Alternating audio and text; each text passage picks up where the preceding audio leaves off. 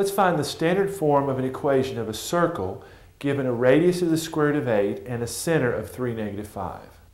So here's the standard form of an equation for a circle. Let's plug in our center of 3, negative 5. So we'll have x minus 3 squared plus y minus a negative 5 squared equals our radius, which is the square root of 8 squared.